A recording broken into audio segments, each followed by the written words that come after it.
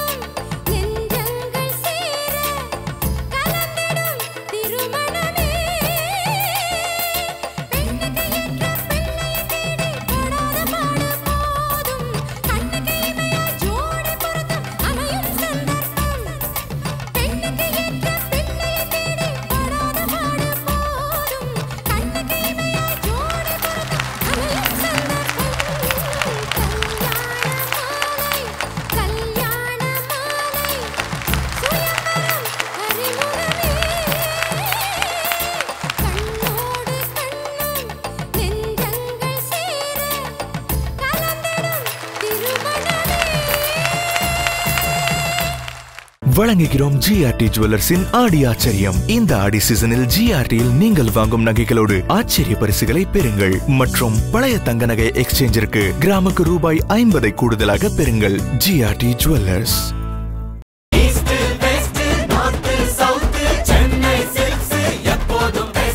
Fresh and trendy Aadi sale up to 50% தள்ளுபடி. The Chennai Silks. Coimbatore wedding and beyond Kalyana Malai சிறப்பு பேச்சரங்கம் சினிமாவும் நானும் சென்ற வார தொடர்ச்சி. பொதுவாகவே பெண்கள் வந்து படப்படன்னு பேசினா அந்த பொண்ணு ரொம்ப படப்படன்னு பேசுகிறப்பா அதெல்லாம் நம்ம வீட்டுக்கு சரிப்பட்டு வராது அப்படின்னு சொல்லுவோம். ஆனால் ஒருத்தர் மட்டும் படப்படன்னு பேசினா நம்ம எல்லாருக்குமே பிடிக்கும். அந்த மாதிரியா ஒருத்தர் பேசுகிறாங்க அப்படின்னா அது ரேணுகாவுக்கு தான். அதாவது பாலச்சந்தர் சார் கண்டுபிடித்த எல்லாமே மின்னும் அப்படிங்கிறதுக்கு திருமதி ரேணுகா அவர்களும் மிகப்பெரிய உதாரணம். அந்த காலத்துலலாம் சீரியல்ஸில் பார்த்தோம் அப்படின்னாக்கா பழி வாங்குற சீன் அதெல்லாம் கிடையாது. ஒரு அண்ணியாக அம்மாவாக அக்காவாக தோழியாக எப்படி நடித்தாலும் அவங்க நடித்தாங்கன்னா நமக்கு அதை பார்க்கணும் அப்படின்னு ஆசையாக இருக்கும். நேத்திக்கு ஒருத்தட்ட காமிச்சிட்டு இருந்தேன். அவருக்கு எல்லா படமும் மறந்து போச்சு. இவங்க பிரேமி தானே அப்படின்னு கேட்டார். அந்த மாதிரி எல்லோர் மனதிலும் இடம் பிடித்தவர் நம் வீட்டு பெண்ணாக காட்சியளிக்கும் ரேணுகா அவர்கள் குணச்சித்திர நடிகையாக சினிமாவும் நானும். மேடையில் அமர்ந்திருக்கும்.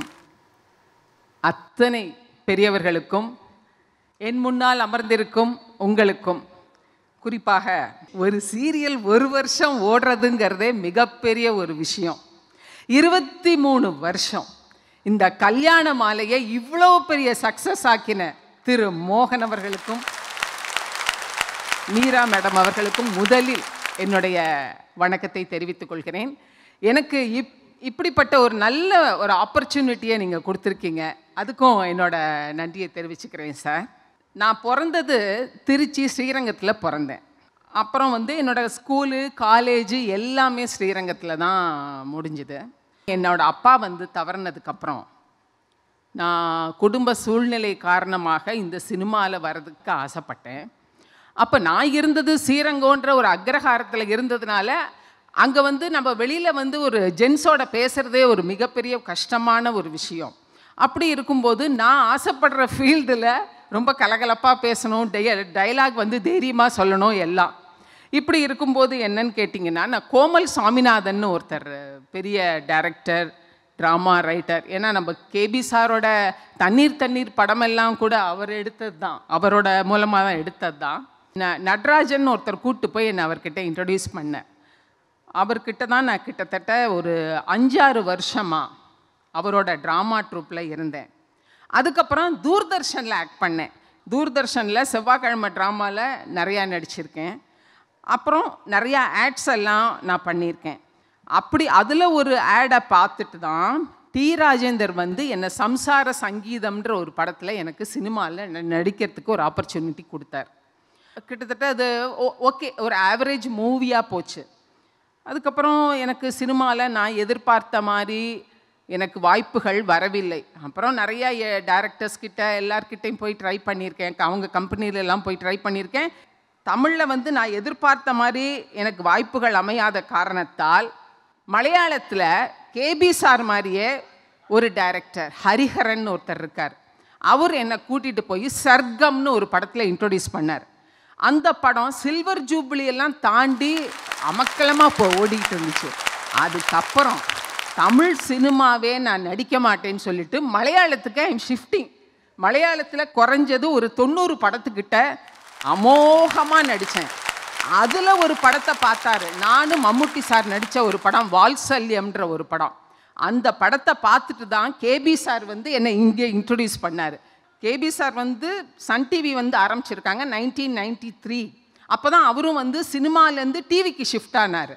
பாலச்சந்தரின் சின்ன திரைன்னு அதில் நான் வந்து நடித்தது வந்து ஏர் பஸ் அப்படின்ற ஒரு எபிசோடில் நடித்தேன் அப்போ கீதா கிட்ட சொல்லியிருந்தாங்க இது மாதிரி நான் ஒரு இந்த ஒரு இதுக்கு வந்து நான் ஒரு நியூ ஹீரோயின் இன்ட்ரடியூஸ் பண்ணணும்னு பார்க்குறேன் உனக்கு யாராவது தெரிஞ்சால் பாரு. சார் நேற்றுக்கு நீங்கள் இந்த வால்சபிளியமில் மம்முட்டி கூட பார்த்தீங்களே அது நம்ம தமிழ் பொண்ணு தான் அப்படியா? ஓகே அவளை கூட்டு வா நம்ம இன்ட்ரடியூஸ் பண்ணலாம் அப்படின்னு சொல்லி அப்படி இன்ட்ரடியூஸ் ஆனது தான் இருபத்தோரு வருஷம் நான் கேபி சாரோட நான் ட்ராவல் பண்ணியிருக்கேன். அதுக்கப்புறம் ரேடானில் ஒரே ஒரு சீரியல் பண்ணேனே தவிர பாக்கி வெளியில் வேறு எந்த சீரியலும் நான் பண்ணலை. கேபி சாரோட தான் இருபத்தோரு வருஷம் ட்ராவல் பண்ணியிருக்கேன்.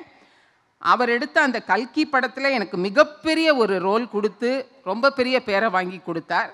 அதுக்கப்புறம் என்னோட இது என்னென்னா எனக்கு தமிழ் படத்து மேலே எனக்கு ஒரு பெரிய ஈடுபாடே இல்லாமல் போயிடுச்சு. பிகாஸ் ஆஃப் எனக்கு என்னடா அது முன்னாடி எனக்கு சரியானபடி சான்ஸ் கிடைக்காதனால எனக்கு மலையாளத்து மேலே எனக்கு ஒரு பெரிய ரொம்ப பெரிய ஒரு ஈடுபாடு வந்தது.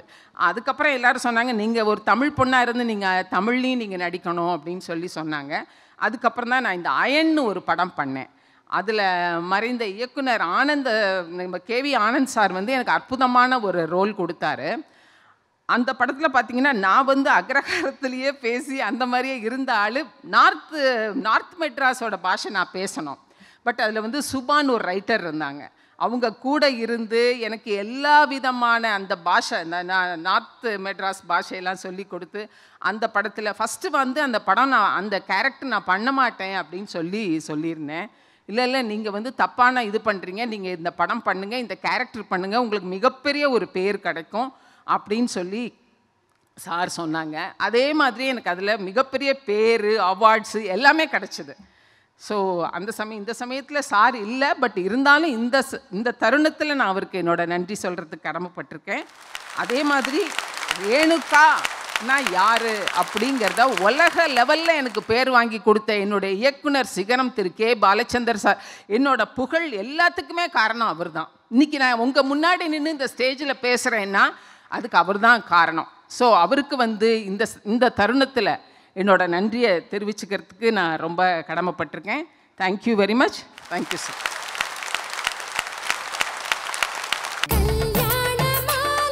என்னோட Butterfly Electra food processor boring சமையலுக்கு bye பட்டர்ஃப்ளைக்கு hi Kerry India Logistics is one of the very few companies in India. We are different. You will see the difference in all our service levels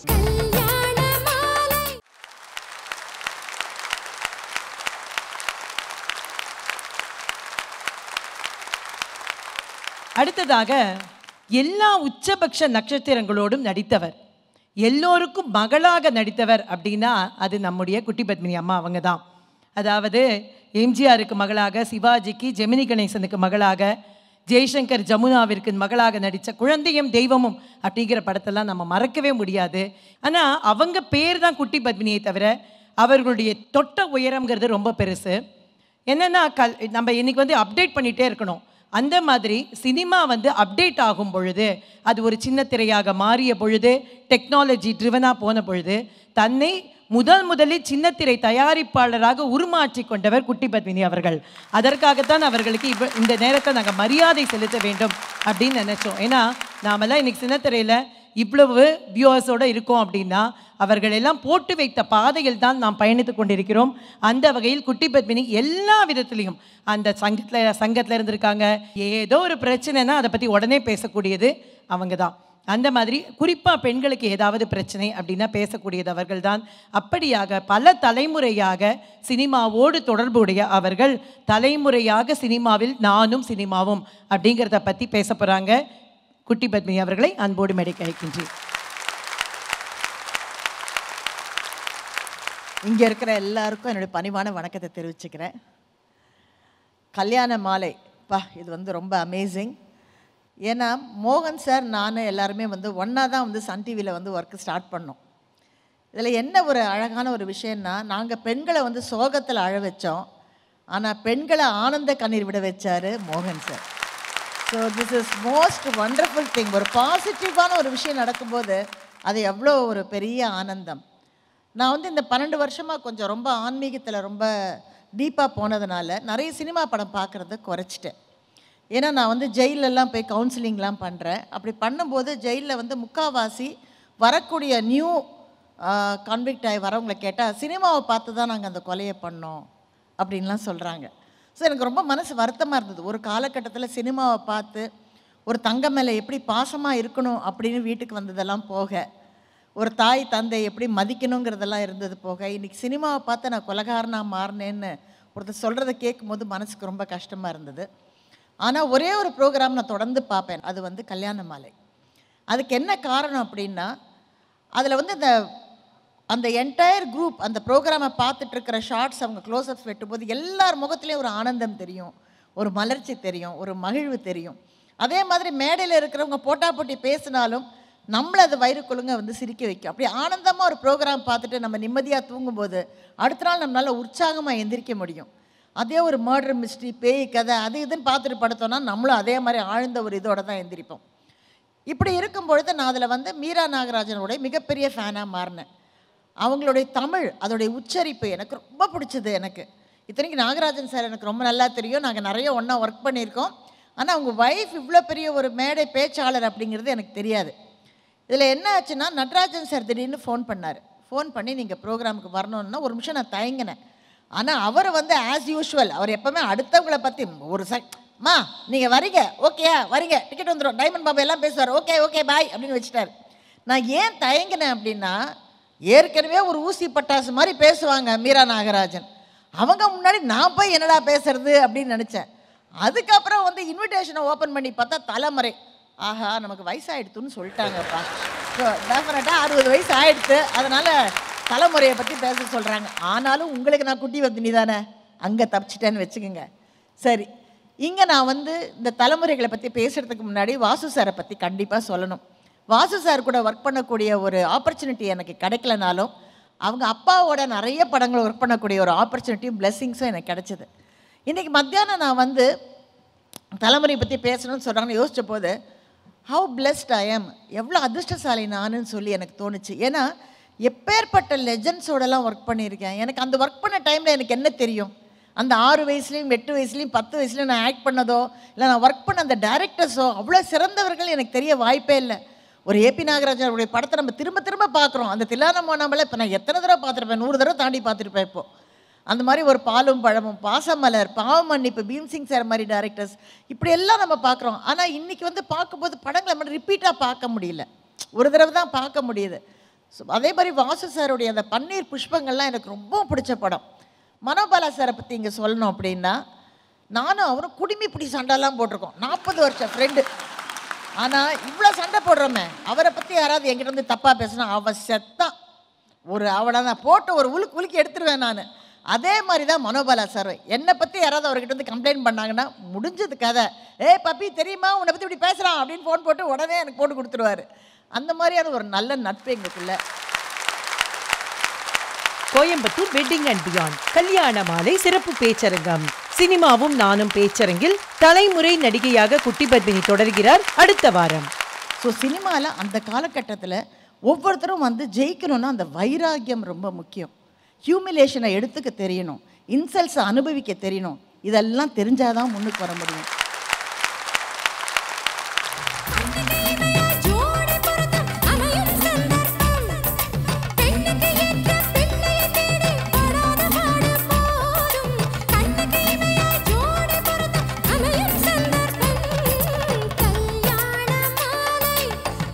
உங்கள் வீட்டு வரனுக்கு மிகச் சிறப்பான இல்வாழ்க்கை துணை அமைய பதிவு செய்து கொள்ளுங்கள். கல்யாண மாலை டாட் காம்